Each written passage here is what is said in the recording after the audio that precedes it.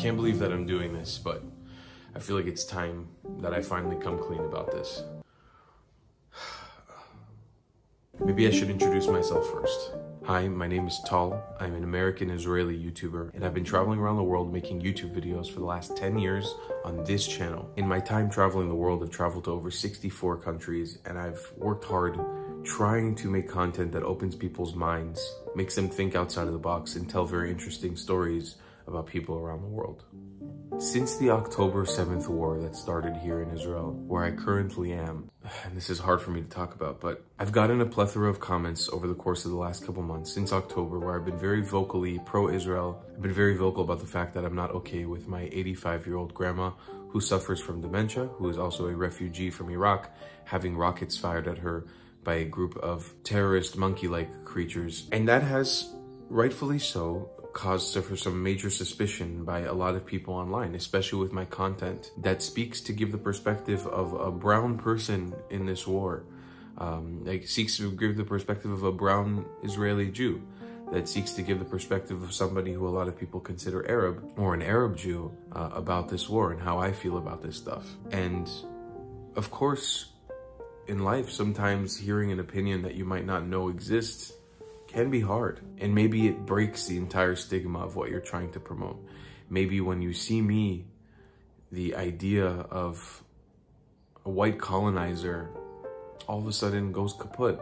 I was hired by the Mossad to make videos about Israel. I thought today I would reveal exactly how much the Mossad is paying me, and obviously the Israeli government. Who I'm clearly working for. So before we get into just how much the Mossad and the Israeli government is paying me for the propaganda that I create about Israel, I thought we would read some of the very good questions that are being highlighted by very nice, decent people in the comment section of my YouTube videos. So recently I covered a story called um, This Palestinian Left Islam and Now He's a Zionist, which tells the story of an Arab-born Israeli named Timur David Aklin who converted to Orthodox Judaism. So the following comment I feel really addresses some of the key points of the video, um, especially when it came to the familial problems and the racism that he endured, and then also some of the suffering he endures even today um, after leaving the Muslim Arab community. Uh, so this comment I feel like really addresses that stuff very honestly. Um, this is from Obingile Mafuvuke. Says, very sophisticated Hasbara project. What he says is pure racist propaganda, referring to, to Timur. Um, then he says, when adopting Judaism cannot make you a Jew according to the law. What Hasbara rubbish is this? Just for those of you guys who don't know, Hasbara is something that I do on this channel pretty often. It's a term in Hebrew. Hasbara literally means to explain, but the the term has come up sort of um, in the social media era where it's content that is made to create, to explain to people the truth about Israel on the ground. Uh, here's we got another comment, same video. Chiefred 2024 says, what has Zionism to do with religion? Only fools would buy this Hasbara story. Uh, here, here, this is another one I've made a video um, recently about Israel Palestine and said, I wanted to listen, but after you misrepresented Hasbara's truth, I had to stop. Hezbollah is a program of the propaganda by the Israeli government. Uh, then we have a comment referring to a video I made in Ramallah with an amazing YouTuber called Corey Gil Shuster who runs the Ask Project. Uh, this was us basically just asking Palestinians questions in the West Bank in Ramallah. The video is literally called Jew Asks Palestinians This question mark. The comment from Andrew Malone says, that Corey guy pretends he's for peace, wink wink, but in reality he's one of the main Zionist agents working for the Mossad out there. These are just some of the many comments I receive on a daily basis addressing the fact that I am indeed part of the Mossad, indeed part of the Zionist agency and the Zionist, conspiracy to take over the world. Um, I am but a small part of the puzzle. Obviously, there are people way larger than me, but I am indeed part of this Zionist reptilian agenda. To eventually take over the world and everything that makes it wonderful.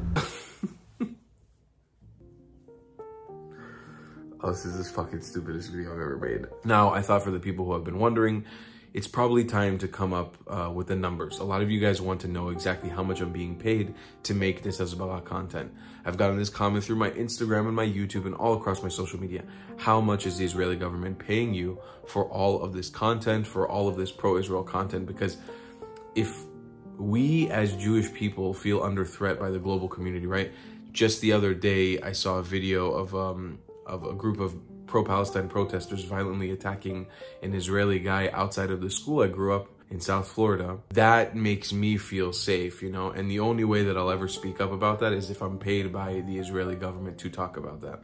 There's no way, there's no rationale that I, as a Jew, started feeling unsafe globally after October 7th when there were calls from all over the world and many Muslim countries and um, many radical white supremacists around the world to, to, to kill Jews in mass.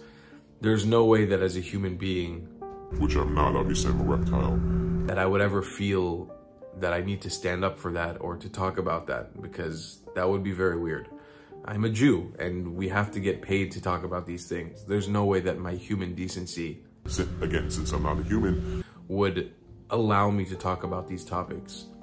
And so since October 7th, I signed a deal with the Israeli government and the Mossad for the most part to receive payment for every time I say the word Israel and every time I say something negative about the word or the, the idea of Palestine. I get paid about dollars and we get paid in USD because the Israeli shekel is obviously a false sense of currency backed by the US government. It's not a real currency. Per time that I say Israel and for every time that I say something negative about Palestine, I get paid about $100. It's actually a really good exchange rate. So whenever I try to make a YouTube video or a thumbnail, you guys can see I put uh, a lot of Palestine and Israel in there.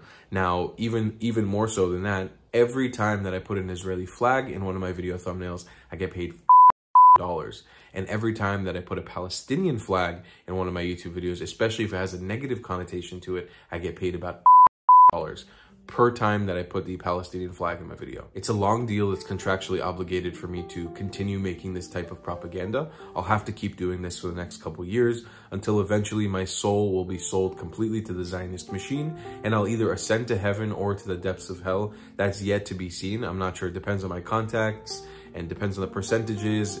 Um, you know, it's there's a lot of things in there. The Hasbara content machine and pro-Israel Zionist propaganda machine it's actually a pretty lucrative deal for a lot of people. So if you're struggling financially and you are interested in getting involved, there'll be links down below in the description to my Patreon, to my PayPal, to my Ko-Fi, and my uh, Buy Me a Coffee. All of those are down below in the description of this video or in the pinned comments.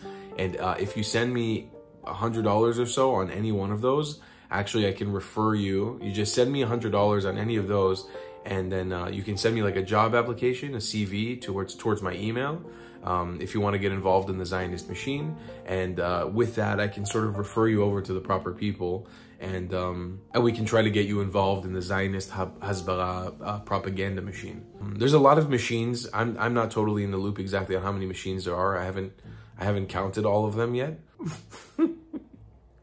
But what's for sure is that this is very lucrative and it makes a lot of sense if you're struggling financially, like I was just before I started this. I absolutely hate the fact that I feel like I can't upload this satirically and I have to actually say this at the end of the video, but just in case, because there probably are quite a few idiots who will take this seriously. I hate that I have to say this because it ruins the video, but okay, everything I just said was a joke. You don't need to send me any money. Please don't send me your shitty job application. I'm not interested in reading it. And this was all just a funny little gag. Think of it as a weird form of art. Anyways, I'm happy to say this channel is fully fan funded at the moment. Last night on a live stream, you guys literally funded me over $1,300 to go down to the south of Israel today and film you guys incredible content about the atrocities that happened on October 7th, where Hamas invaded Israel and did unspeakable acts of terror towards innocent civilians, over 1,200 innocent civilians, and took many of them back as hostages in Gaza. Thank you to everybody who's been supporting me, to all the people who are fans of this channel. You guys are the ones who make this work, not some weird Zionist propaganda machine. It's you guys, and because you guys are fully funding me and keeping me on my legs right now, that's the only way I'm able to continue making this content. So thank you. And for those of you guys who don't believe anything I say, I'm a lizard. Beat me up, Zion.